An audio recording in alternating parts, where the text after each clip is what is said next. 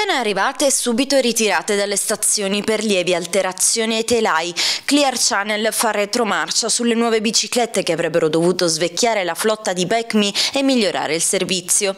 I mezzi attesi da tempo sono comparsi nelle rastrelliere milanesi da poche settimane. Le 700 elettriche di nuova generazione hanno fatto la loro comparsa il 2 dicembre, le 500 tradizionali dal 15 dicembre.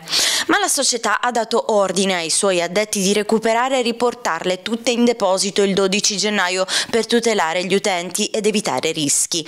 Parte dei telai dopo meno di un mese di utilizzo ha lievi alterazioni della struttura, spiegano da Clear Channel. Il problema riguarda una minima parte della flotta, sia delle tradizionali sia delle elettriche. Secondo altre segnalazioni raccolte il difetto è invece molto più diffuso. Le nuove e-bike hanno anche disguidi nel funzionamento del motore che assiste la pedalata in base alle osservazioni fatte da alcuni utenti. Di fronte a queste difficoltà e per evitare di compromettere la sicurezza del ciclista, l'azienda ha scelto di ritirare in blocco le due ruote neoarrivate e di mettere nelle rastrelliere le vecchie bici.